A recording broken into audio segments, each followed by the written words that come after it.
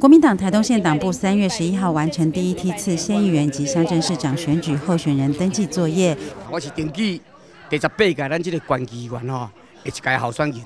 啊，参加咱党内提名这个机制啊，我专程吼，资料看好势啊，啊，直接吼要拜托咱台东市这乡亲第一选区的选民吼，继续甲建持支持，和建持啊吼，继续为咱大服务。哎好，萨利嘎嘎，其他位嘎哥，呃，我是方贤人，代表平地原住民第七选区的候选人，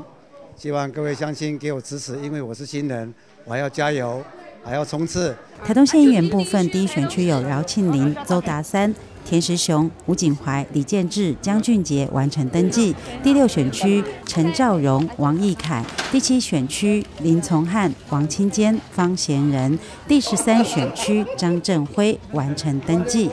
乡镇市长部分。台东市张国洲、绿岛乡李树灿、郑文仁、谢贤玉、南屿乡江多利、北南乡吴信义、延平乡胡荣典、成功镇陈秋豆、黄伯昌、吴慧琴、林富雄、东河乡陈世宏、叶富山、长滨乡潘淑芳、张雅峰、关山镇吴国堂、戴文达、于时吉、金峰乡宋贤一。大武乡赵洪汉、吴仲明、吴顺安、黄建斌等人登记。